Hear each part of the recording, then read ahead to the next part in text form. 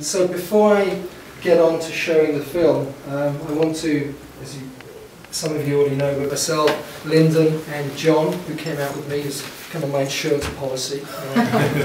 um, but, uh, and you know, Lyndon uh, has very uh, kindly uh, invited a number of people along tonight who um, hopefully will get involved in the work we're doing. And I'd like to just let Lyndon say a few words.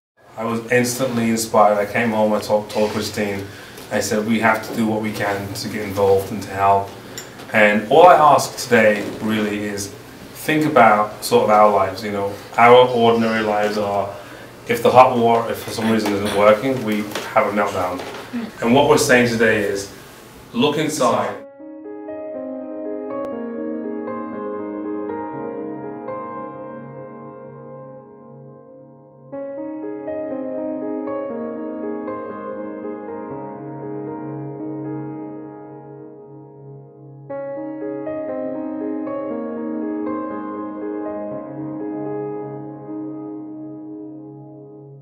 People to receive healthcare, sometimes they have to travel four, five hundred miles. Basic services such as running water and uh, uh, a reliable source of power uh, were at best intermittent. I can't use it. No oxygen. There was undoubtedly um, a lot of suffering and undoubtedly a lot of trauma. There were countless stories that were heartbreaking and stories that stories that had they occurred in the US or Europe uh, would have had very different outcomes.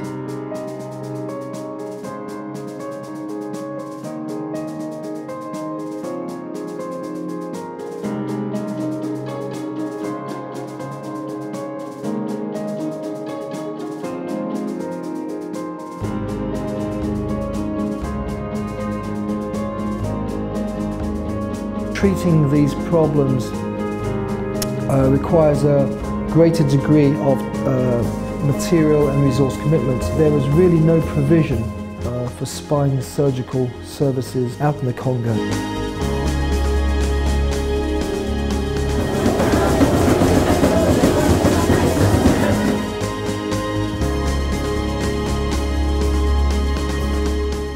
Provide a level of service that we feel is going to make a difference.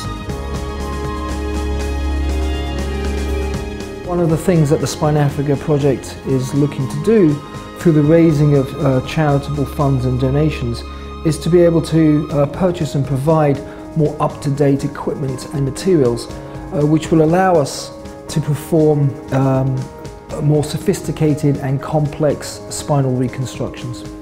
Je pense qu'une fois qu'on les soigne et qu'on leur donne la possibilité de, de faire un travail normal, elles peuvent recommencer une vie normale.